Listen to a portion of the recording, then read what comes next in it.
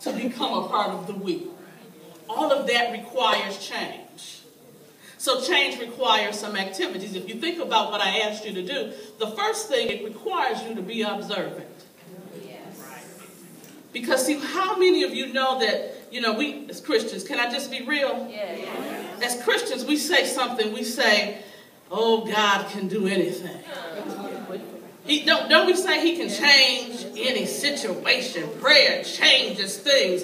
But then people around us change and we still see them the same way. So now if we saw that person as the caterpillar, God has changed them to the butterfly. We still see them as crawling, but they're flying. Who has the vision problem? We do. So sometimes in the change process, it requires us to be observant. Secondly, I didn't tell you what to change.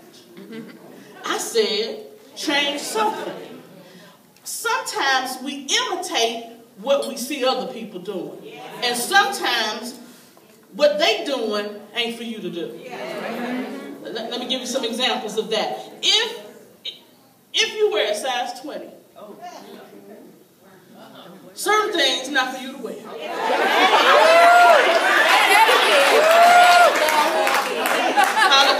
Hallelujah.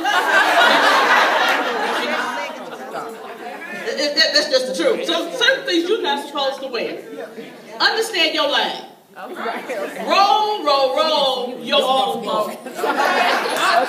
Gently down the stream. You know, you understand you're working with. See, I understand that I am a big, beautiful woman. I understand that. I don't let someone else define what that means for me. I look good in my clothes. I know how to pick them.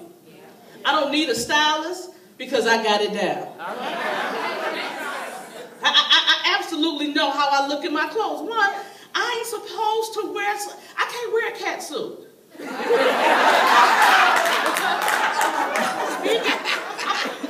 if I wear a cat suit, I need a blouse like this over, okay? okay, you see, you see what I'm working with? That's a little flowing. You don't see all my bumps. You got to understand what you're working with. But you absolutely have to understand the vision and goals that God has given you. You absolutely have to realize that. So you can't just do what everybody else does. Because I've seen people do this activity and uh, when they turned around, the person said, well, you didn't change anything. And they said, well, I changed my mind.